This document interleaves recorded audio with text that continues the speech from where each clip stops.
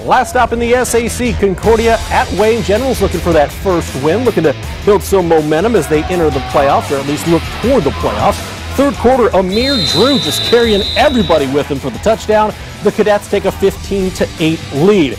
Wayne responding. Aiden Meek to Ronald Elliott III. You saw the cutback and then the speed. He beats everyone in. Throw up the five, son. It's the Generals leading 16 to 5. But Concordia, a lot of weapons on that offense, some good receivers on this team. That includes Tyler Grossman. Brandon Davis finds Grossman, and Grossman gets a good block there. He finds Paydirt, and Concordia wins this one at Wayne 35 to 16.